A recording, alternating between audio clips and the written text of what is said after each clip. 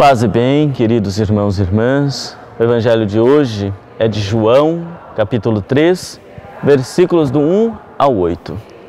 Havia um chefe judaico, membro do grupo dos fariseus, chamado Nicodemos, que foi ter com Jesus de noite e lhe disse: Rabi, sabemos que viestes como mestre da parte de Deus.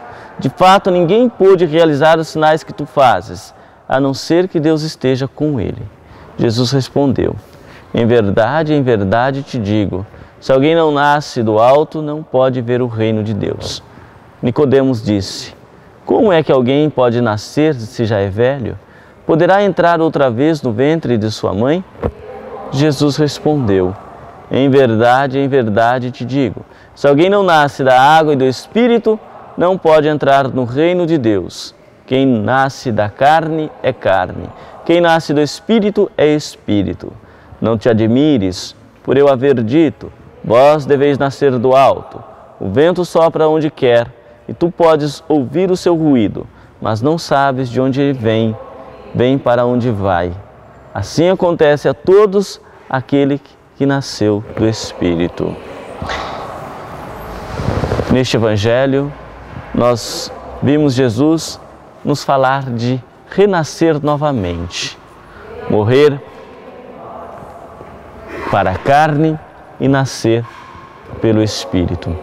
Esta é a renovação que todos nós devemos fazer neste tempo pascal. Jesus, ele nos promete algo que é o seu Espírito e nós, quando fomos batizados, recebemos este Espírito. No nosso crisma, nós confirmamos que desejamos ter esse Espírito de Deus em nós. Só que isso nos remete a atitudes, a renovação de vida, a nos deixarmos levar pela vontade de Deus, morrendo para a carne, morrendo para as tentações do mundo, morrendo para tudo aquilo que não agrada a Deus.